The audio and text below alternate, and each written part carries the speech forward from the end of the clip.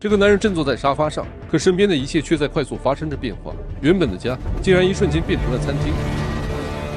更让他害怕的是，他居然在镜子里看到了一张陌生的脸。这到底是怎么回事？所有的一切还得从一起车祸开始说起。这个男人从一起车祸中醒来，看着反光板里的自己，却觉得如此的陌生。他已经记不清自己究竟是谁了。警察告诉他，车子的车主并不是他本人，而且他的肩膀上有枪伤。他预感事情没有那么简单。男人决定自己揭开真相。根据随身的门禁卡，他来到一处高级公寓。从票据上看到，他应该叫阿浩。而就在此时，指针指向十二点，奇怪的事情开始发生了。他穿越了，并且他又变成了不同的样子。更恐怖的是，本以为自己叫阿浩的男人，却看到阿浩本人走上街道，还在自己的眼前被一辆车给撞飞了。之后，阿浩便被人绑走了。男人安抚着自己狂跳的心，从兜里摸出证件。这次他不再是阿浩，而是变成了李新佑，一个快递公司的部长。李部长，你。男人不敢回到别人的公司，只能在外面闲逛。这时他碰到了失去记忆后第一个认识的人，帮忙报警的拾荒叔。拾荒叔自然是不认识眼前这个李部长的。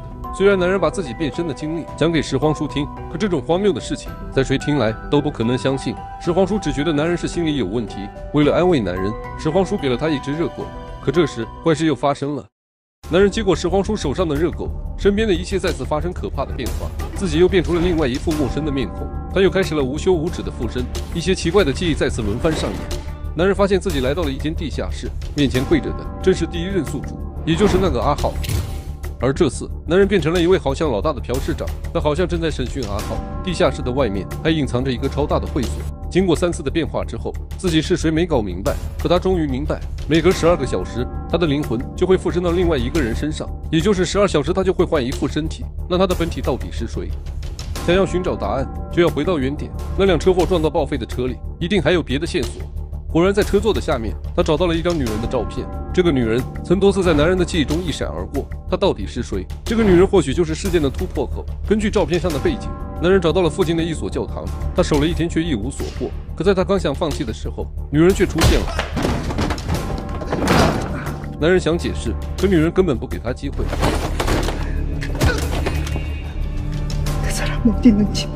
这个江里安又是谁？男人一个翻转，却掌握了主动权。穿越身体居然还能继承一部分能力，可他还是没问出女人到底是谁，还让他从眼皮底下逃走了。冥冥之中，男人觉得这个女人跟他有很大的关系。男人只能从朴市长身边的人开始入手，因为他们和女人都提到过一个名字江里安。果然不出他所料，朴市长的手下果然认识这个女人。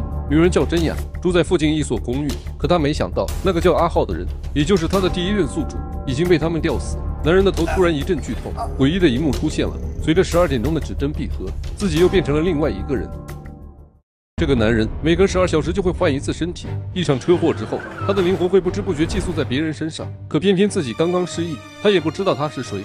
这次他变成了被通缉的特工刘助理，还好他记住了真雅的地址，随即来到了他的家。根据在家里找到的驾照，男人终于知道，所有人都提到的江里安是真雅的未婚夫，而江里安很可能就是他的本体。可这个江里安现在到底在哪呢？男人想起车祸当天，这里还有个行车记录仪。男人找到拿走记录仪的拾荒叔，几经周折，那张承载重要信息的卡片找到了。男人看到第一任宿主阿浩扛着一个受伤的男人上了这辆车，他们又去了哪里呢？这时，两个特工冲了进来，男人只能把 SD 卡悄悄放进了拾荒叔的兜里。时间正好来到了十二点，男人再一次改变了宿主，变成了朴市长的手下大毛。看着他们正在跟踪未婚妻真雅，男人直接一个紧急刹车，把车子横在了路边。救完真雅，他还得去找 SD 卡。而这时的拾荒叔已经被朴市长抓进了地下室，因为顶着一张手下大毛的脸，男人成功救走了拾荒叔。再次打开 SD 卡，他终于发现车子最终停在了刘助理的公司附近。原来刘助理跟江里安是最好的朋友，他把受伤的江里安藏了起来。此时的江里安已然是一副植物人的模样，可他又为什么会变成如今的样子？男人忍不住靠近，一瞬间，所有的记忆重新浮现。他终于记起了到底发生过什么。原来朴市长本是他的领导，他们同属于情报局的一员。一周前，他们奉命去逮捕一群毒贩，却发现现场丢失了一批新型毒品。据说此毒威力巨大，能实现彻底的身心分离，价格贵得离谱。而朴市长却认定就是突然消失的刘助理偷的，还向上级通报通缉他。男人跟刘助理是好朋友，刘助理两天前告诉他东西不是他偷的，他只是在调查这件事，却发现自己突然被人追杀。说完还往男人兜里塞了个 U 盘。男人刚开始不信，还带了朴市长把刘助理给抓走了。可回家一看，刘助理说的居然是真的，局里有人黑吃黑偷毒品，可画面太黑看不清楚。当天晚上，男人就接到朴市长的电话，未婚妻真雅被抓走了，刘助理也被绑来了。朴市长就是这个幕后黑手，他要除掉他们三个，顺便把罪名栽赃给男人。他给男人注射了毒品，毁掉了藏着证据的 U 盘，马上要制造一个谋杀未婚妻的场面，却没想男人无法控制心中的怒火，在毒品的作用下，灵魂直接转移到了手下阿浩身上。之后他救下未婚妻把失去意识的自己藏在了刘助理工作的厂房里。这时，朴市长的人找来了，一起找来的还有未婚妻真雅。男人安排拾荒叔带着 U 盘和人事不省的本体逃走，自己则用大毛的身体去保护未婚妻。关键时刻，代表正义的李部长出现，原来他是情报局的一员。可让男人始料未及的是，李部长才是真正的幕后大佬，朴市长不过是个傀儡。男人被当作叛徒一巴掌打昏，等他再次醒来时，自己被绑在一辆下沉的汽车上，车里还躺着人事不省的刘助理和胖子。看来男人又被安排了。他想跑，发现已经来不及了。可他忽然想起。之前附身的五个人都是前两天的在场人员，只要胖子不死，他就能得救。这个时候他赌了一把，拼尽全力送胖子逃了出去。事实证明他成功了。他唯一的想法就是救出真雅。此时的朴市长已经野心爆棚，直接把正主李部长都打死了。他要亲自卖掉具有毒品赚一票大的。男人冲了进来，朴市长懵了。胖子是什么时候爱上真雅的？为了救他，不惜与全世界为敌。但很快他就用胁迫女主真雅这招，知道了真相。这个不停变换面孔的男人就是江里安。两个超级厉害的人物放在一起，就是两败俱伤，不停的厮打。然而朴市长忘了，他身后还有个真雅。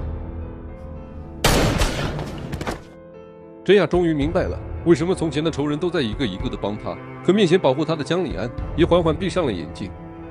真雅带着江里安的本体回到了家，他不知道这个深爱他的灵魂还能不能苏醒，但是他知道自己会永远等下去。모르면처음으로돌아가그래야 또 우리가 어디로 가는지도 알 수가 있는 거거든.